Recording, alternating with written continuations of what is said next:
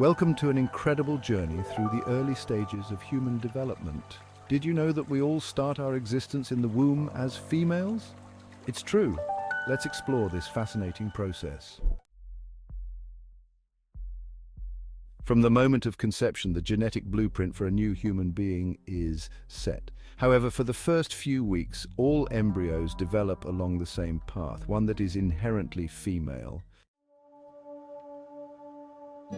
At conception, we receive 23 chromosomes from each parent, totaling 46. Among these, the X and Y chromosomes determine our sex. Females have two X chromosomes, X, while males have one X and one Y, XY. For the first few weeks, the embryo follows a default developmental path, which is female. This means the basic structures for female reproductive organs, such as the Mullerian ducts, begin to form, Around the sixth or seventh week of development, if the embryo carries a Y chromosome, a critical gene called SRY, sex-determining region Y, activates. This gene triggers a cascade of changes.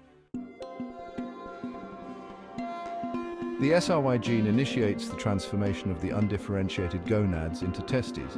These testes then produce testosterone, which further drives the development of male reproductive structures. Before the Y chromosome's influence, the female structures remain, showing the intrinsic female pathway.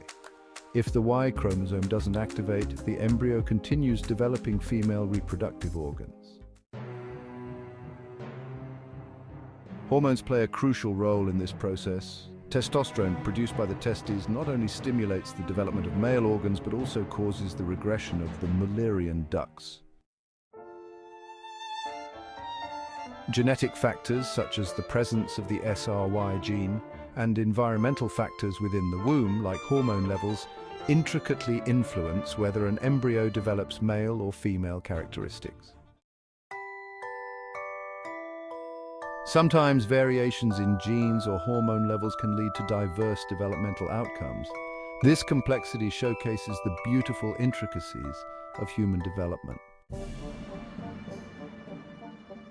Scientists continue to study these early stages of development to better understand how genetic and hormonal factors shape our growth, providing insights into various medical and developmental conditions. From a female starting point to the diverse spectrum of human development, our journey before birth is a testament to the wonders of biology. Understanding these processes not only fascinates but also deepens our appreciation for the miracle of life. Thanks for joining us on this incredible journey.